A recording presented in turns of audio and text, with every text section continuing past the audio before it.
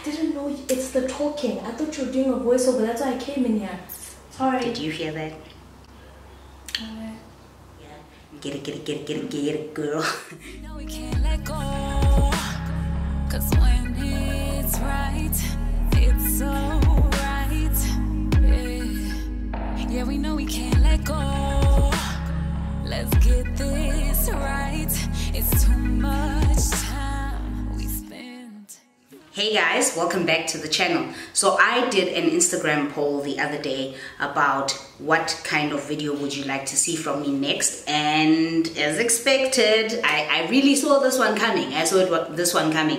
Uh, a bunch of people actually requested a work makeup routine. So the earrings, it's just, it's just for the purpose of this video, the jazzing up with the earrings, really. All you need to focus on is the makeup. So I did a work foundation routine. This is how I apply my makeup on every single morning on my way to work. It takes me roughly about 10 to 15 minutes the longest time being spent on my brows to be honest that's it and for the purpose of this video as well i actually have eyelashes on i do not wear eyelash extensions or falsies when i go to work because it's not a real thing though it's not a real thing so if you would like to see how i achieved this look right here please do keep watching. Okay, so this is going to be how I do my makeup for when I go to work. The thing is, it is really, really basic. It's a little bit longer than the last time that I used to do makeup purely because uh, the, the weather is changing. I can't talk, I haven't filmed in such a long time. Purely because the weather is changing, so even my powder tends to move. So because of that, I've adopted using uh, liquid foundation and just sort of techniques to make my makeup stay the same throughout the day. So if you'd like to see how I do my makeup, let's get started. Okay, okay. So the first thing that I normally do is I start out by putting some powder on my face, especially in the areas, this is the MAC uh, Mineralized Skin Finish in Dark, especially in the areas where there is a lot of fine lines. I do that so that I can, it's the, you know, it's the whole powdering before um, applying the makeup on technique. It's not really, you know, Makeup 101 tells us that no, you need to put liquid before powder, but this actually works really, really well. Uh, sometimes when I feel like it's not enough, there's not enough powder over um, my smile lines, I go in with this powder. This is the Black Opal, uh, what's this? True Velvet Finishing Powder. It's really, really good. So it's just really, really messy. So I go over that like so. Everywhere where I've got fine lines. But for me, it's just the smile lines that are a bit problematic. Then I started doing this technique and honestly, it has worked. It has worked fairly, fairly well.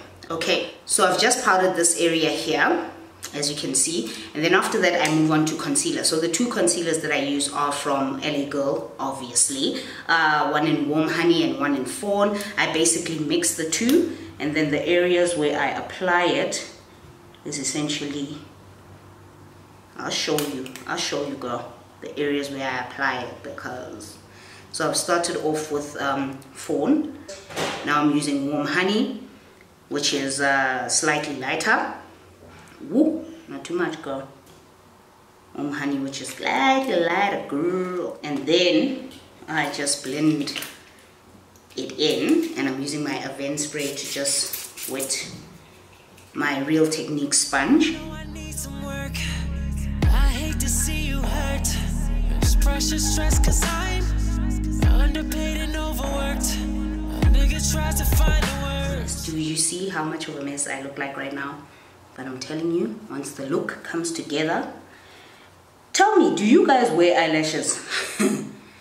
uh, falsies when you go to work? I just don't have time for that. I honestly just don't have time for that. And then I add my foundation. So for foundation, I'm using the Estee Lauder Double Wear. The reason why I use this one is because it is matte. There's a particular reason why I use it. It's because it's matte. And literally, you can have matte foundations that do budge throughout the day but this one is matte and it does not budge and I put it right on those areas where I had the powder I don't blend it blend it all in then I just take it all across over my face jawline chin.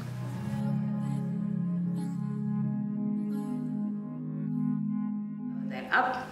The weather is changing. That's pretty much why I have my ring light on because the weather, sun is going in and out the clouds and it's acting all bitchy right now, okay? Just wipe down my hands because you know anybody get the time. Do I not look scary or what? Okay, so just wipe my hands and then this is the part where I move very, very quickly because you don't want the lines to set in. Back to the powder.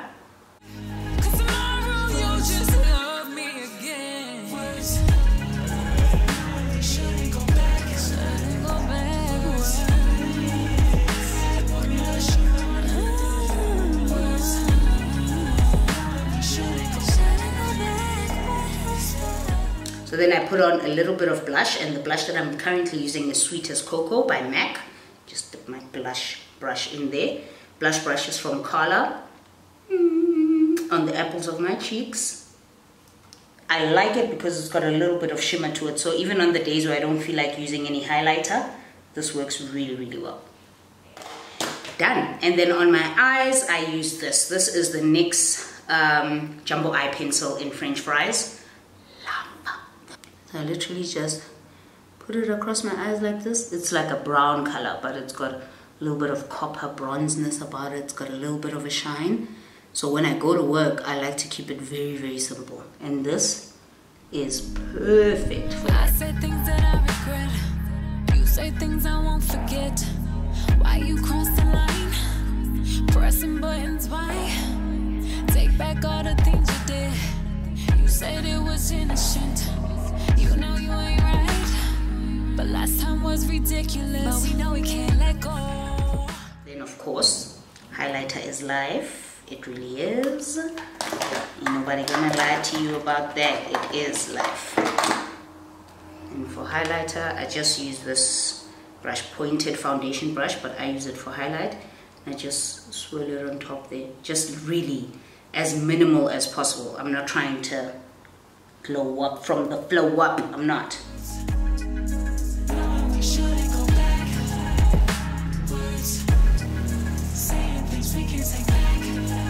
And finally, lips. And for lips, I am using, of course, Chestnut by MAC. And this Maybelline Vivid Hot Lacquer. And it is in number 64, which is Unreal. Frustrated, you learn? Hold me down and I'm gonna make sure that I put you first. We can't let go. Cause when it's right, it's alright. Yeah. Yeah, we know we can't let go. Let's get this right. Oh, okay. And to finish off, I'll be using, sorry, I'm talking to my sister.